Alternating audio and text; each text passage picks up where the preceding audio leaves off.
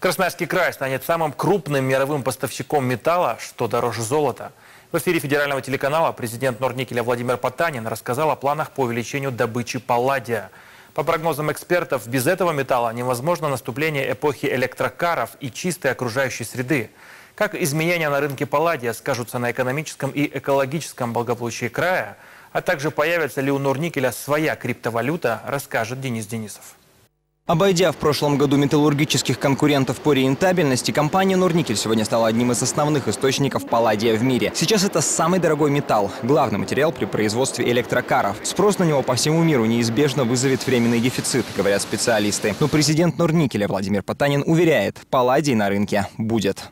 Понимаете, э, вот этот катализатор, который улавливает вредные выбросы, он очень маленькая деталь в машине и стоит не так дорого по, отнош... по сравнению с машиной. Но без него невозможно выпустить автомобиль. Поэтому такая дополнительная нервозность у производителей есть по поводу того, что им просто физически не хватит палладия. Объемы палладия, которые мы производим, которые мы поставляем на рынок, они абсолютно прозрачны, понятны. Здесь сложилось просто объективное э, соотношение между спросом и предложением.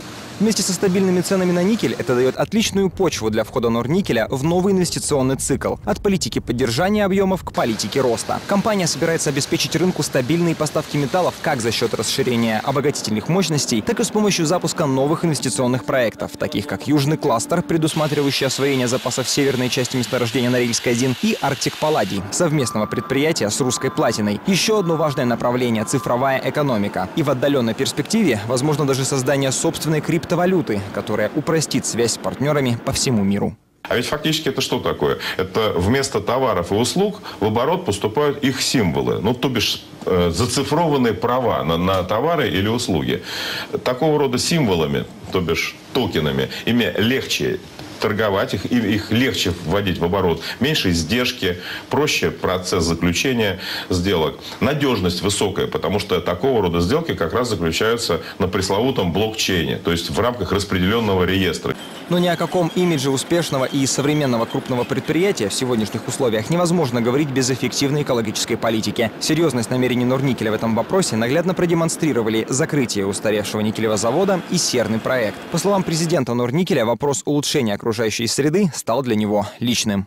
Успешное предприятие, на которое, которое загрязняет атмосферу, и на котором, ну, например, там, высокий уровень травматизма, это не то, на, на чем престижно и приятно зарабатывать деньги. Поэтому мы с обеими этими проблемами, с производственным травматизмом и с э, экологическими проблемами, ну, боремся как можем активно, да, и много в это вкладываем, и, в общем-то, э, на это денег не жалеем.